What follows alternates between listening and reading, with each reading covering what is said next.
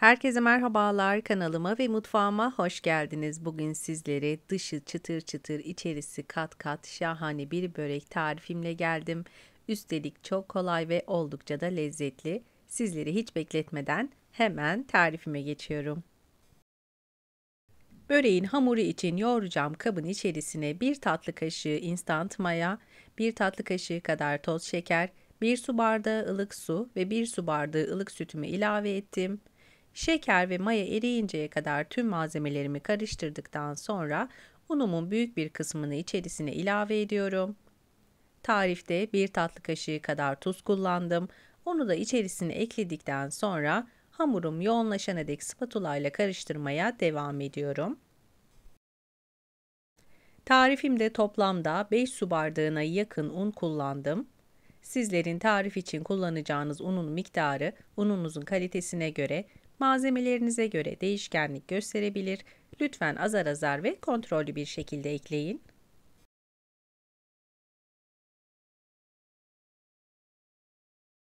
Hazırlamış olduğumuz börek hamurunun kıvamı oldukça yumuşak, ele yapışmayan bir kıvamda olması yeterli olacaktır.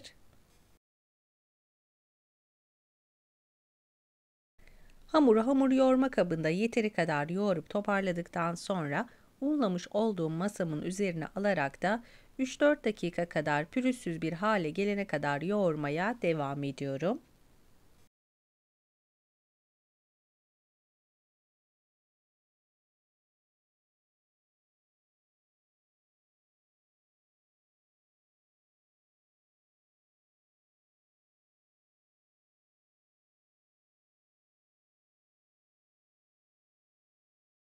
Hamurun kıvamını ayarladım. Hamuru bekletmeden hemen 4 eşit parçaya bölerek bölmüş olduğum hamurları ellerimle yuvarlayıp bezeler haline getiriyorum.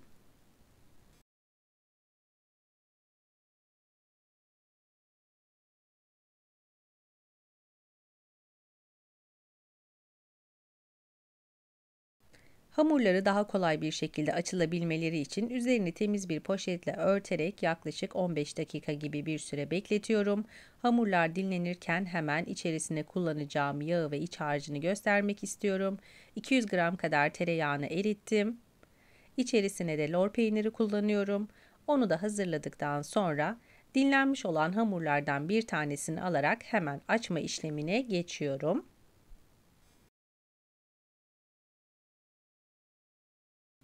Hamurun kıvamı o kadar yumuşak ve pürüzsüz ki çok kolay bir şekilde açılacaktır ve sizleri asla yormayacaktır.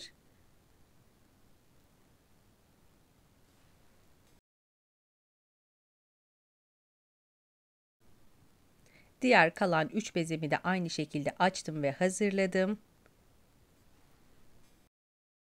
Temiz bir sofra bezinin üzerine beklettikten sonra son kalan hamurumu da aynı şekilde açıp hazırlıyorum.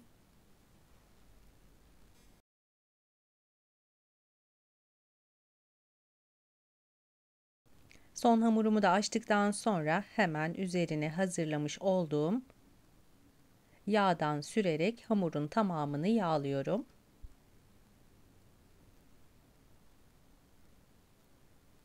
Hemen ikinci hamurumu da ilk hamurumun üzerine ilave ediyorum. Katlarını bu şekilde çıka çıka 4 kat e, olacak şekilde hamurların tamamını yağlayacağım. Hamurları ne kadar iyi bir şekilde yağlarsanız yapmış olduğunuz börekler de bir o kadar kat kat olacaktır. Tarifimi hazırlarken buraya kadar gelmiş olan siz değerli takipçilerimden her zaman olduğu gibi yoruma kalp olur, emoji olur veya tarifim hakkında herhangi bir fikriniz varsa bunu benimle yorumlar kısmına yazarak paylaşabilirsiniz. Ayrıca tarifim için kullanmış olduğum tüm malzemeleri her zaman olduğu gibi videomun altındaki açıklamalar kısmına ekleyeceğim. Dilerseniz oradan bakarak da faydalanabilirsiniz.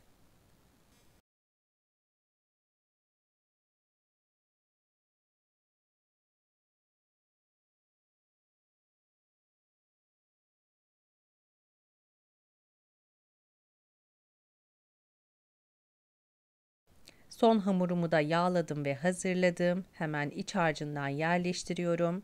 Ben beyaz peyniri ve lor peynirini karıştırdım. Üzerine ilave ediyorum. Siz dilerseniz aynı aşamada patatesli, kıymalı, ıspanaklı olarak da hazırlayabilirsiniz. Gerçekten oldukça lezzetli bir börek tarifidir.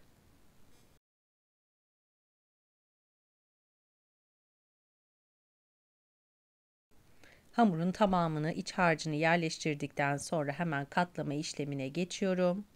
Hamuru öncelikle hemen ilk katını verdikten sonra kuru kalan yerleri mutlaka çok iyi bir şekilde yağlıyorum. Pişme esnasında aralarda yapışma olmaması için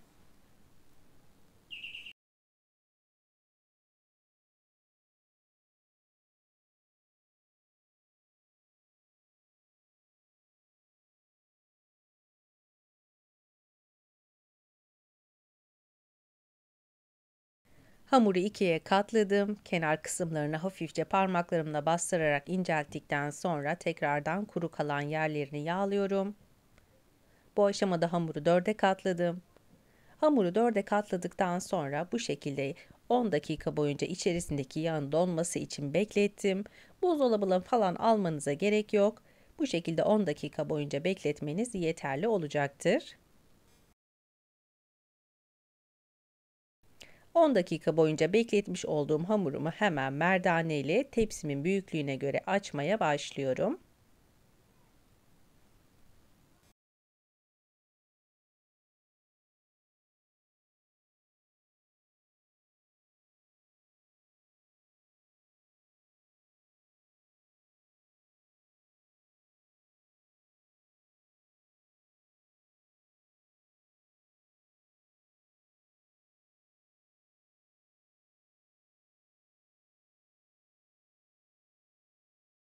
Tepsimin içerisine almış olduğum börek hamurunun üzerine bir tane yumurta sarısıyla fırça yardımıyla özenle yumurta sarısını sürüyorum. Bu aşamada fırınımı da önceden ısıttım ve ayarladım. Kavrulmuş susam serpmiş olduğum böreğimi 180 dereceye ayarlamış olduğum alt üst ayar fansız fırında altı üstü kızarana kadar fırına gönderiyorum. Pişme süresi fırından fırına göre değişkenlik gösterebilir. Lütfen kontrollü olalım.